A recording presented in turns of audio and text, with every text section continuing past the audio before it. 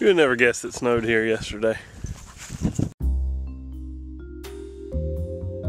Oh, it is a beautiful day outside. I just had to get outside for a minute just to walk around and see see the sights, see what's going on.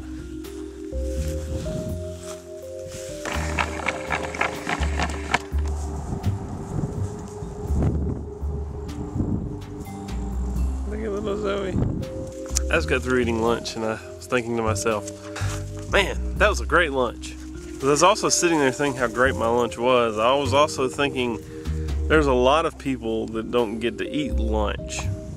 In fact, there's a lot of people that don't get to eat supper or breakfast either. They don't get to eat much at all. Because there's a lot of people nowadays that are really hurting that, that, that don't have the same things that maybe you and I have. This has sort of been a tender spot on my heart here lately with benevolence and how to deal with benevolent issues.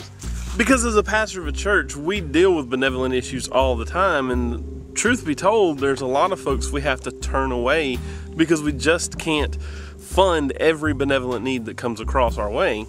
We have to be very judicious about how we handle benevolent needs, and, and sometimes that's one of the hardest parts of ministry. I mean, on the one hand, you want to be extremely generous and benevolent to everybody that you can. On the other hand, there are a lot of folks that will take advantage of your benevolence, and you try to counter the two somehow and try to be as generous as you can while at the same time not being taken by those who would take advantage of you. And I'm just here to tell you, that's not an easy place to be, and it's not an easy thing to do. Inevitably, you're going to get fooled by some people who come to you with what appears to be a genuine need, but they're really just doing it to try to pull as much money from you as they can. Not only that, there has to be some limitations as to, to what you can and cannot do when it comes to benevolence. The reason I say you have to have some limitations is because I recently had a conversation with a lady that has been really spending herself on benevolent needs. She goes way above and beyond her call of duty in being benevolent toward other people, showing kindness, uh, giving of herself and her time and her money uh, to help people out that are genuinely in need. Because of this, she was sort of getting worn out because to be that benevolent, it takes a lot of energy and, and resources to do those kind of things. She sent me an email uh, asking you what she needed wasn't sure how much more she was going to be able to do.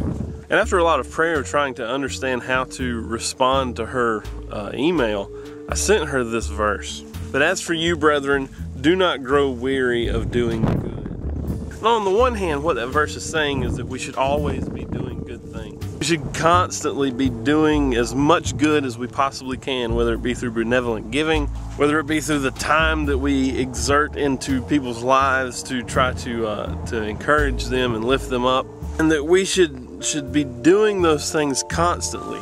But I pointed out to her, it also says, "Do not grow weary in doing good," which means don't spend yourself so much that you don't have anything else left to give. I mean, let's face it, there comes a point where you can only do so much to where it becomes so taxing that you can't do anything else. If you can't do anything, then you're no good to anybody. I mean, so to speak. I'm not saying you're worthless. You, you get what I mean there. And so I got to this point where I was thinking, had I done as much as I could possibly do to help the needs of people who needed things and who needed uh, assistance in any sort of way. On the other hand, I got to thinking, had I ever gotten to a point where I was so weary of doing good that I was worn out like she was? And so it was this really strange balance, this place where uh, you need to be giving as much as you can, but you also need to be taking care of yourself as well. And, and, and I've just been thinking about this constantly, and, and I know there are so many hurting people around us and, and around our church and that we need to meet the needs of.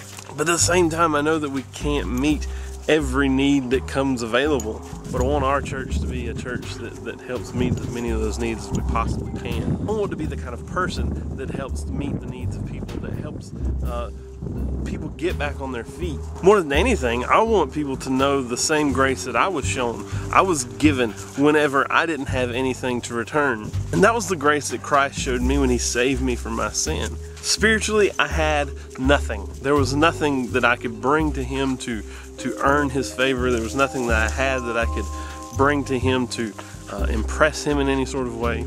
But yet he had everything, and, and not only did he just uh, give grace to me to do that, he literally expended every ounce of what he had on a cross to die for my sin. And I, and I didn't deserve that. You know, in the Sermon on the Mount, Jesus says this But love your enemies and do good, and lend expecting nothing in return, and your reward will be great, and you'll be sons of the Most High, for He Himself is kind to ungrateful and evil men. We're going to, to encounter people who are really in genuine, deep need, and we need to do our best to help meet those needs because Christ met our need, the need that we had for redemption. I'm very grateful for that. It's Valentine's Day, so go share love with someone today. Supply a need for somebody that has a need, and help someone who's hurting, and show them what true love really is.